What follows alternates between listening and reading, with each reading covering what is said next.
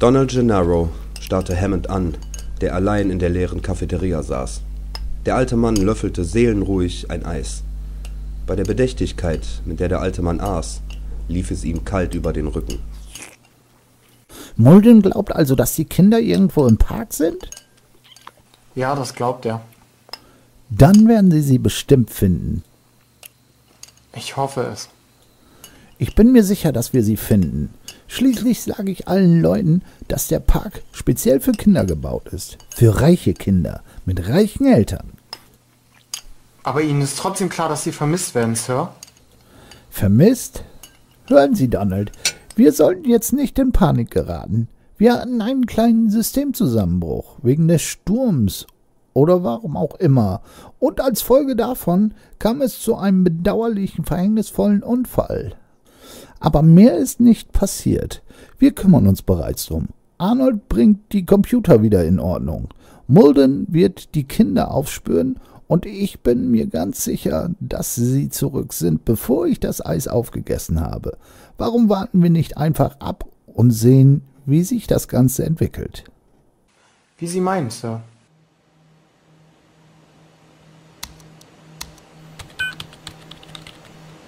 Ich glaube, dass Nedry etwas mit dem Computer angestellt hat. Keycheck off. Safety off. SL off. Er versucht, die Sicherheitssysteme abzuschalten. Er will nicht, dass jemand sieht, was er vorhat. Genau. Und offensichtlich weiß er nicht, dass man die Sicherheitssysteme inzwischen nur noch abschalten kann, indem man den Schalter an den Hauptkonsole per Hand umlegt. Das da unten, das ist der Knaller. Was zum Teufel ist das? Weißer Hase? Soll das vielleicht ein privater Witz von ihm sein? Es ist als Objekt markiert. Mal sehen, wo das im Code steckt. Vielleicht finden wir heraus, was er macht. Find White Rabbit Object. Object not found in Library. Es existiert nicht. Dann suchen Sie den Quelltext durch.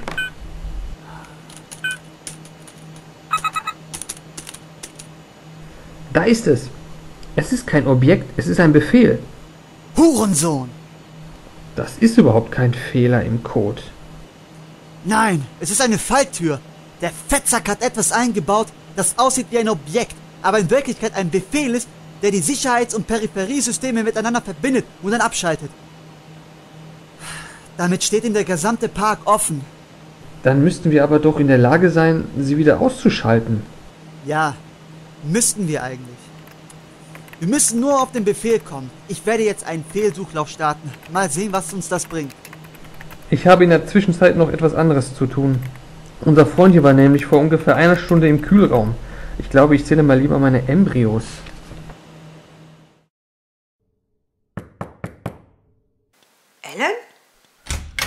Als Ellie die Tür öffnete, sah sie Maldun mit einem in Plastikfolie eingewickelten Paket unter dem Arm auf dem Gang stehen. Es tut mir leid, aber wir brauchen Ihre Hilfe. Die Landcruiser wurden vor ungefähr einer Stunde angegriffen. Wir haben Malcolm zurückgebracht, aber er hat einen Schock. Außerdem ist sein Bein übel zugerichtet. Er ist noch immer bewusstlos und ich habe ihn in seinem Zimmer ins Bett gelegt. Harding ist gerade auf dem Weg zu ihm. Harding? Was ist mit den anderen? Die anderen haben wir noch nicht gefunden, Dr. Sadler. Oh mein Gott. Aber wir glauben, dass Dr. Grant und die Kinder noch am Leben sind. Wir nehmen an, dass die in den Park gelaufen sind. In den Park? Davon gehen wir aus. Aber im Augenblick braucht Malcolm dringend Hilfe. Ich habe schon Harding verständigt. Sollten Sie nicht lieber den Arzt rufen? Es gibt keinen Arzt auf der Insel. Wir haben nur Harding. Aber Sie können doch einen Arzt anrufen. Nein, alle Telefonleitungen sind tot. Wir können nicht hinausrufen. Was tragen Sie da unter dem Arm? Nichts. Gehen Sie doch bitte in Malcolms Zimmer und helfen Sie Harding. Okay, ich setze mich in Bewegung. Machen Sie sich um Dr. Grant und die Kinder keine Sorge. Ich kenne Grant schon lange. Er hat im Ödland schon einige gefährliche Situationen gemeistert. Wenn Sie wirklich im Park sind, wer ist besser geeignet, die Kinder durch den Jurassic Park zu bringen, als ein Dinosaurier-Experte? Grant öffnete die Augen. Strahlend blaues Licht strömte durch die Torstangen des offenen Schuppens, in dem er und die Kinder Zuflucht gesucht hatten und sich vor Erschöpfung schlafen legten. Das Tor des Schuppens bestand aus schweren Eisenstangen und war groß genug, um einen Lastwagen durchzulassen. Zwischen Geräten türmten sich Strohballen und Grashaufen. Auf einmal Quarzlicht. Der Strom war wieder da. Erschöpft und angespannt sah Grant auf die Uhr. Es war gerade halb zehn. Er hatte nur ein paar Minuten geschlafen und beschloss deshalb, noch ein bisschen weiter zu schlafen. Danach würde er sich vor einen der Bewegungsmelder stellen und winken. Im Kontrollraum würde man ihn entdecken und ein Auto schicken, um ihn und die Kinder abzuholen. Er würde Arnold sagen, er solle das Versorgungsschiff zurückrufen, und dann konnten sie alle den Rest der Nacht in ihren Betten im Hotel verbringen. Gleich, in ein paar Minuten. Er gähnte und schloss wieder die Augen.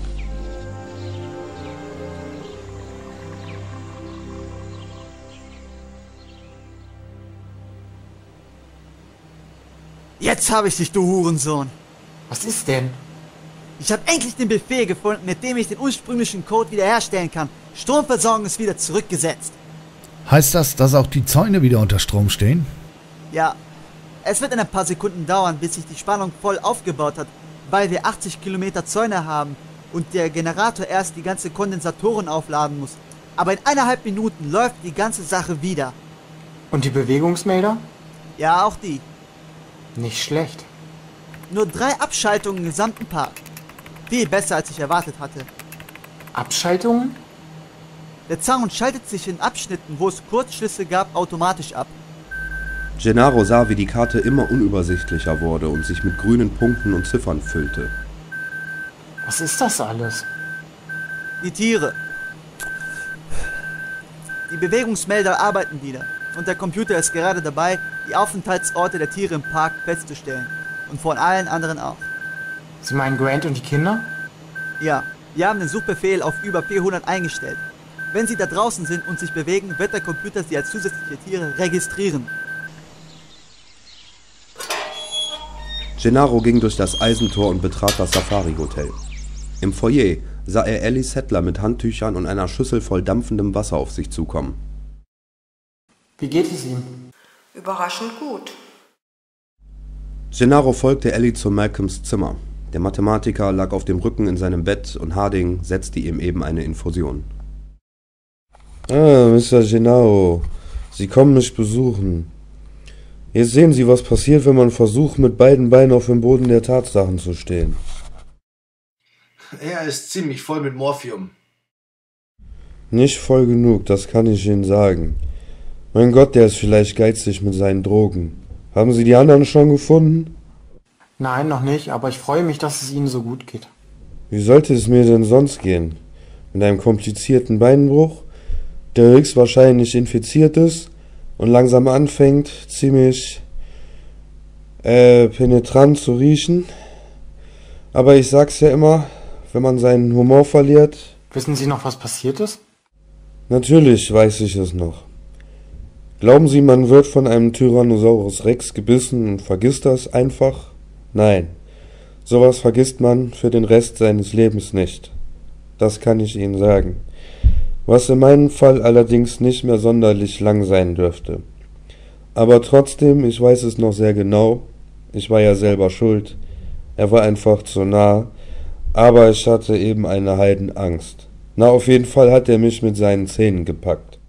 Wie? Am Bauch. Malcolm hob sein Hemd. Ein breiter Halbkreis blutunterlaufender Löcher lief von der Schulter bis zum Nabel. Hat mich in sein Maul hochgehoben, einmal kräftig geschüttelt und dann wieder zu Boden geworfen.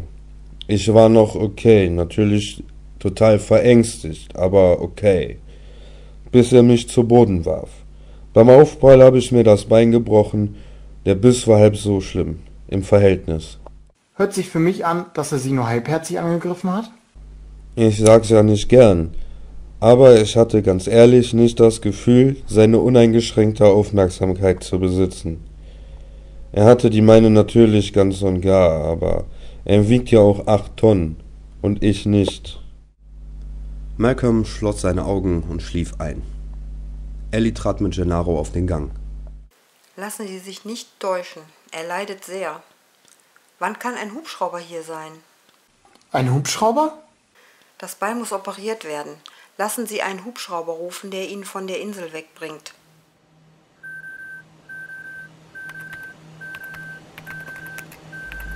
Einige Stunden vergingen. Donald Gennaro beobachtete, wie die Punkte und Ziffern auf der Glaskarte im Kontrollraum blinkten und sich veränderten. Was passiert jetzt? Ich versuche die Telefone wieder in Ordnung zu bringen, damit wir für Malcolm Hilfe rufen können. Arnold, Ja? Haben Sie diesen verdammten Zaun gesehen? Auf einem der Bildschirme sah Gennaro das von weit oben aufgenommene Bild einer Wiese, deren Gräser sich im Wind wiegten. Im Hintergrund war ein niederes Betondach zu erkennen. Das ist das Wirtschaftsgebäude im Sauropoden-Territorium. Wir lagern dort Geräte, Futter und so weiter. Wir schwenken die Kamera, damit wir den Zaun ins Blickfeld bekommen. Gennaro erkannte ein Maschendrahtgeflecht, das im Licht der Scheinwerfer glänzte. Ein Abschnitt war niedergetrampelt. Sieht aus, als sei der Tyrannosaurier bei den Sauropoden eingedrungen.